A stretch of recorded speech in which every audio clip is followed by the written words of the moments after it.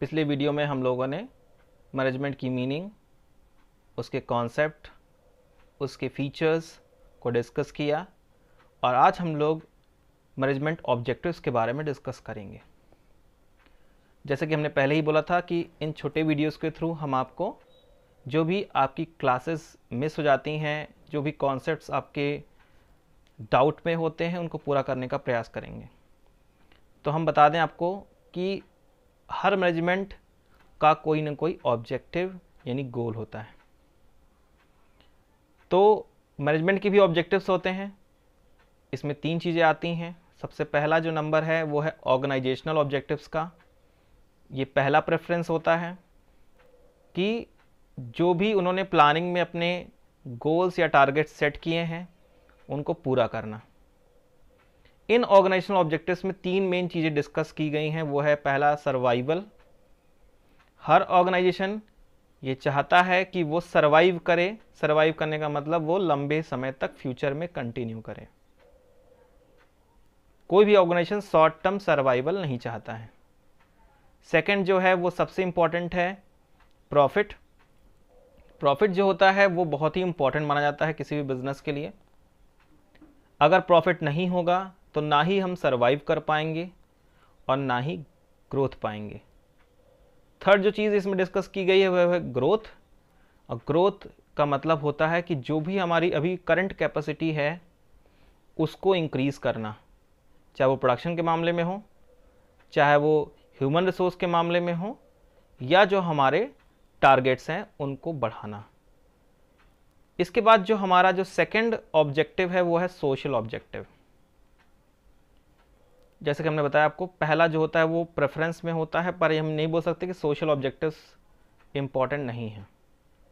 आज के इस ज़माने में, जहाँ कंज्यूमर किंग है, बहुत अच्छे से समझता है कि हमारे लिए बेटर क्या है अच्छा क्या है, वहाँ पे हमको सोशल ऑब्जेक्टिव्स के बारे में भी ध्यान देने की ज़रूरत है।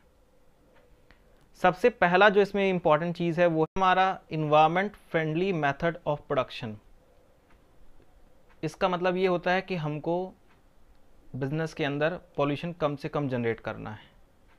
सोसाइटी हमेशा क्लीन एंड ग्रीन तभी होगी जब बिज़नेस हमारे कम से कम पॉल्यूशन जनरेट करेंगे और उन्हीं मेथड्स का यूज़ करेंगे जो इन्वायरमेंट फ्रेंडली हों या कम से कम पॉल्यूशन जनरेट करते हों।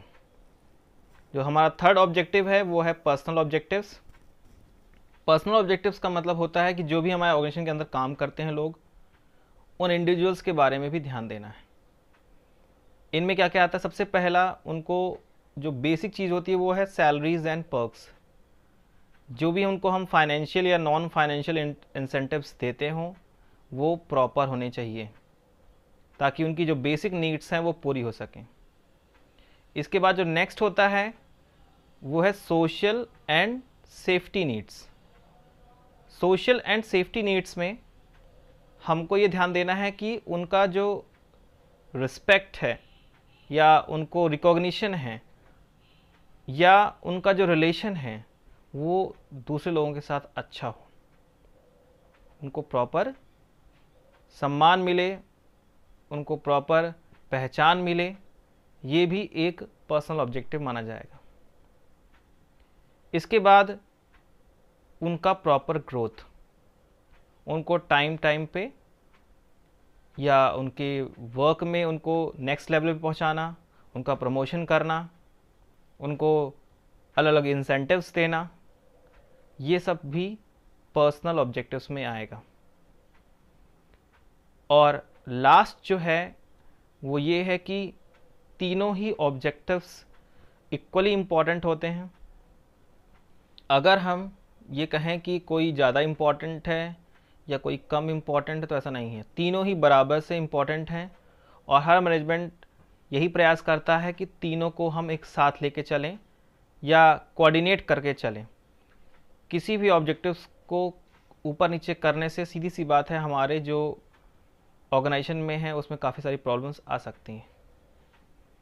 तो इसके बाद हम लोग को डिस्कस करना है इम्पॉर्टेंस ऑफ़ मैनेजमेंट के बारे में सबसे पहला जो हमारा इम्पॉर्टेंस है कि इससे हमारे जो तीनों गोल्स हैं, वो पूरे होते हैं, चाहे वो इंडिविजुअल के गोल्स हों, चाहे वो सोसाइटी के गोल्स हों, या ऑर्गेनाइजेशन के गोल्स हों, वो सारे अचीव हो जाते हैं। प्रॉपर मैनेजमेंट से जो सेकंड फ़ायदा जो होता है, वो होता है कि उससे हमारे ऑर्गेनाइजेशन की एफिशिएंसी बढ़ती है। एफिशिएंसी के बाद जो नेक्स्ट होता है, वो होता है हमारा ऑप्टिमम यूटिलाइजेशन ऑफ़ रिसोर्सेज यानी जो भी हमारे पास रिसोर्सेज हैं, उसका हम लोग सही तरीके से यूज़ कर पाते हैं। वेस्टेज नहीं होता या वेस्टेज बहुत ही कम होता है। अगला जो है हमारा, वो है it helps in creating dynamic organization dynamic का मतलब होता है कि जो फ्रीक्वेंटली चेंजिंग एनवायरनमेंट है, उसके हिसाब से हमारा ऑर्गेनाइजेशन एडजस्ट कर सकें।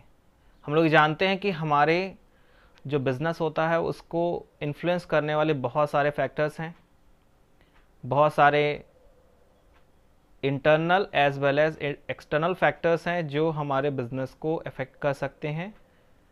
और अगर हम प्रॉपर मैनेजमेंट करते हैं तो उन चेंजेस से हमारे बिज़नेस में बहुत ही कम इफ़ेक्ट होगा।